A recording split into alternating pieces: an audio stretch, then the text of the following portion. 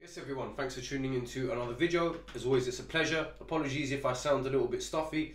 My nose is a little bit blocked, but I wanted to get another video out today. Before I get into it, as always, if you get any value from the video or you have any thoughts to share, please like, subscribe, leave any comments down below, and let's get into it. It's going to be quick today.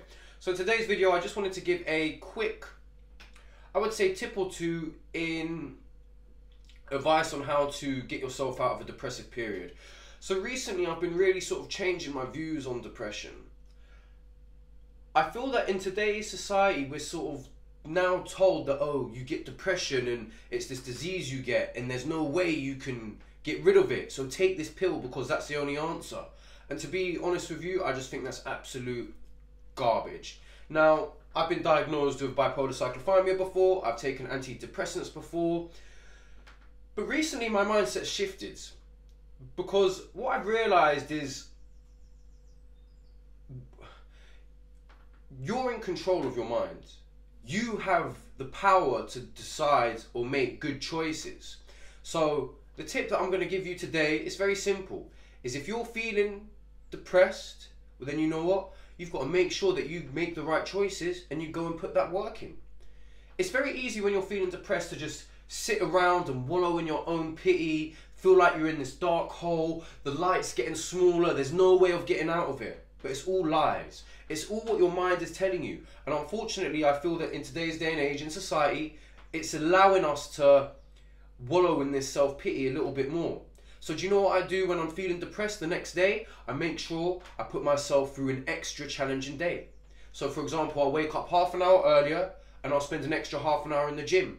And during that extra half an hour in the gym, I'll make sure I go on the rowing machine and I beat my personal best for 500 meters. I'll do something which is extra challenging. Because when you do that, what you realize is that you're in control. You've got the power to decide how you act. And even if you're not feeling good, you still have the choice to act positively and to speak positively. It doesn't matter how you feel inside, you can still talk as if you're feeling good. You can still make positive choices. And I'm sure some people are going to be sitting there saying, "Oh, you don't know how it feels. On those days I can't I can't do it." Yeah, you can. That's what you're telling yourself. Go and push yourself. Go and smash a limit. Even if you just have an ice bath. Anyone in the world has got the power to run a cold bath and get into it. It might be challenging. The first 2 minutes might suck it probably will, but afterwards you'll realise, God, you know what? My mind was playing tricks on me. I can actually do something that I thought I couldn't. You can actually get over your depression when you thought you couldn't. That's the message you want to send to your sub- send to your subconscious because you can. Trust me, I've done it. When I'm feeling depressed at the moment, I just accept it. I keep making the right choices. I don't verbalize it anymore. I just keep on acting as if everything's good. I speak positively. My actions replicate a positive person. And you know what? It shifts pretty quickly these days. We're all going to come up against days where we're not feeling good. That's just life.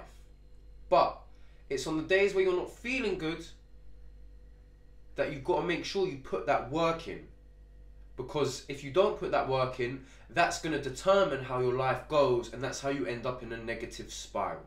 So when you're feeling depressed, push yourself to do something you think you can't, and then prove to yourself that you can get out of that depressive phase. Because trust me, you can. Before people think, talk, or before you have the thought about you've got a chemical imbalance, I've talked about this in other videos. There was a meta analysis by UCL which basically completely put that put that perspective in the bin about serotonin. We don't really know what causes depression. The chances are, if you're feeling depressed, you're probably making bad lifestyle choices. But you know what? In my opinion, taking a pill is not the answer. Go and make, go and make the right choices and put yourself through a challenge and watch your mindset change. Anyway, uh, that was it for today. Wherever you are, I hope you're having a cracking.